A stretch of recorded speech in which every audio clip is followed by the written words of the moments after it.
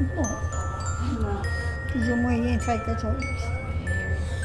Toujours. Ça, c'est pas mal ma philosophie aussi. Il y a différentes manières de se prendre. Oui. Mon père, il y a quelque chose. Quand on veut, on peut. Oui, c'est vrai, c'est ce que je toujours pensé.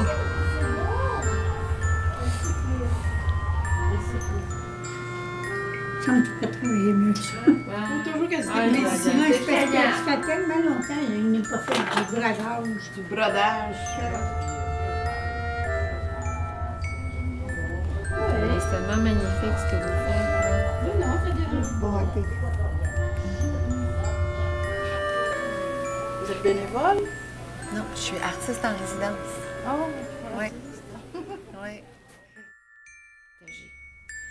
Dans ce centre où l'espace de vie personnelle se restreint souvent au lit, un bout de mur et un espace infime où circuler, je souhaitais instaurer des rendez-vous avec les résidents. Créer entre autres des interventions sur l'oreiller à l'aide de dessins, d'écriture ou de broderie. Au fil du projet, mes artistes ont pu créer une ou plusieurs œuvres à part entière qu'elles soient visuelles ou auditives, par les histoires qu'il ou elle me racontait. Parce que là, je suis en train de vous enregistrer. Arrête donc. Oui. J'immortalise votre voix et Oui. vos, vos histoires. Là, cette année, vous ne pouvez pas broder ou quoi que ce soit, mais par contre, vous avez votre voix Oui. et vos histoires. Oui, Oui. Oui. Ça, c'est très vivant. oui. Puis j'ai mon vécu. J'ai d'abord voulu récupérer les jaquettes d'hôpital, imprégnées de mille et une mémoires, de vie, de multiples passages. Cette matière a ensuite servi à fabriquer des têtes d'oreiller et des poupées de chiffon. Là, il y a Madame Bédard qui est en train de faire une tête d'oreiller. Vous devriez euh, venir voir ce qu'elle fait. C'est super beau. Cette fois-ci, je désirais que leurs œuvres puissent davantage s'intégrer à leur propre milieu de vie, leur chambre, leur lit, l'endroit où ils passent la plus grande partie de leur vie. Je souhaitais que leurs œuvres leur reviennent, tout simplement. Avec d'autres résidents, je captais leurs voix, leurs histoires, où je notais leurs mots, leurs amours et leurs craintes, en les utilisant par la suite dans mon travail. J'ai ainsi brodé de mots des masques hygiéniques. Je dois maintenant en avoir plus d'une cinquantaine. Les histoires que j'ai recueillies seront ensuite dispersées dans un montage sonore que je réaliserai pour la radio, éventuellement. Et pour vous, c'est quoi le bonheur? Oh, le, le bonheur, oh, Saint J'ai forcé un bonheur merveilleux avec mon mari. C'est une perle. Là, il est dans une autre résidence. Puis quand mon fils il vient, Jacques, il va chercher son verre puis il me l'emmène. On pleure toutes les deux. Il y a du chemin à faire. Madame Bédard. Il y a du chemin à faire avant d'avoir du talent. Ben, je pense que le chemin, vous l'avez fait. Avec l'appui de Nathalie Lagu, la récréologue du centre, l'ensemble du personnel a fait preuve d'une belle ouverture et même parfois une certaine complicité s'est installée avec certains soignants.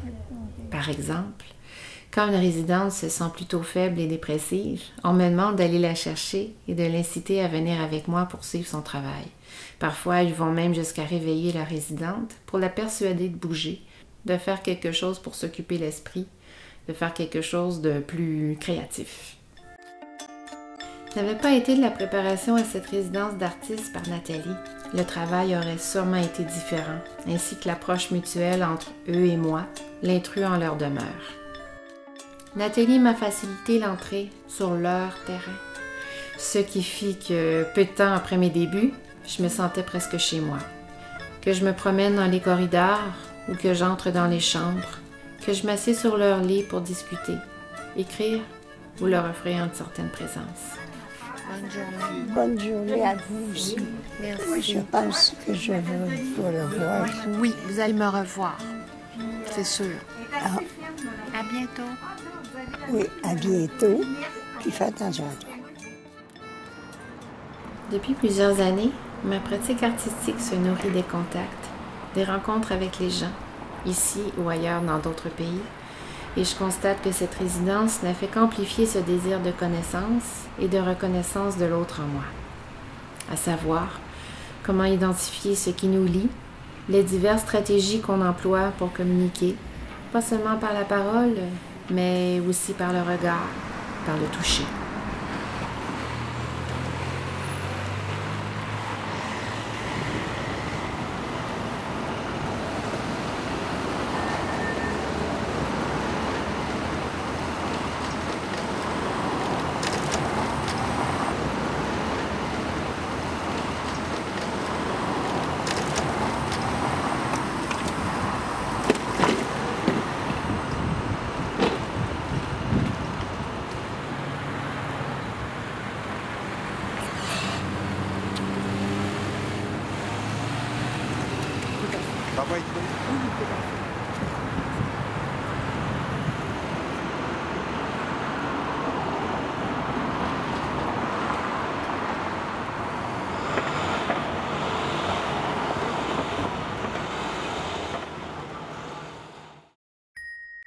Toutefois, j'aurais préféré pouvoir infiltrer davantage, ce qui s'est avéré très difficile dans ce contexte.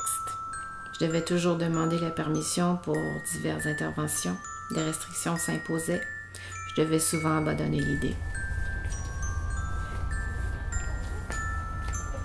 Je vais vous remettre d'autres angles dessus, puis je vais vous fermer les yeux.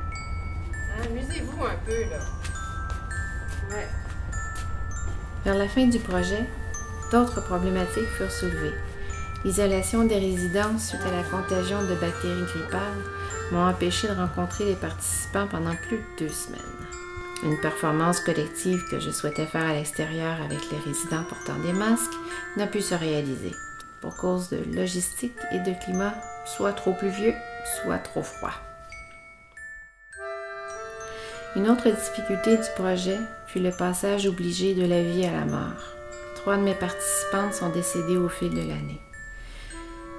Ce qui me fait réaliser davantage la fragilité de notre être, l'importance de vivre au présent et enfin d'accepter ce qui suivra.